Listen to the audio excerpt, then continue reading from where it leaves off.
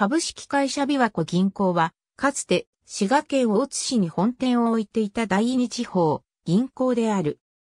三井住友銀行と新密先都市最後の頭取は同行出身であった。大阪証券取引所第一部に上場していた。2010年3月1日、関西アーバン銀行に吸収合併され、古琵琶湖銀行本店を関西アーバン銀行の琵琶湖本部とし、古琵琶湖銀行のロゴマークは関西アーバン銀行の環境マークという形で残された。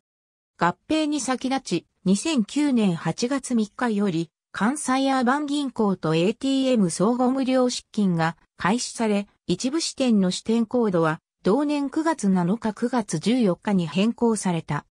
また、ネット専業支店であった夢大海支店は2010年2月26日の受付をもって新規講座開設を終了し、システム統合後はイチョウ並木支店に一本化した。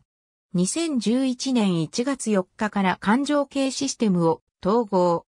環境保全活動に先駆的に取り組んでおり、校内に環境銀行を創設し、琵琶湖の水質が改善すれば、預金金利を良くするなど、環境と経済の好循環に向けた銀行活動を行っていた。ありがとうございます。